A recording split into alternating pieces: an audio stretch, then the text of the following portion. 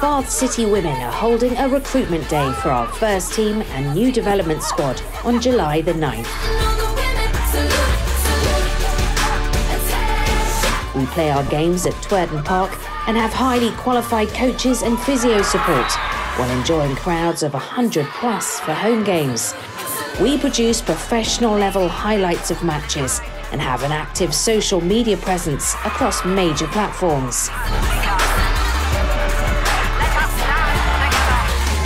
Interested in playing for the Romans this season? Head to bathcityfc.com forward slash Bath City Women to sign up now.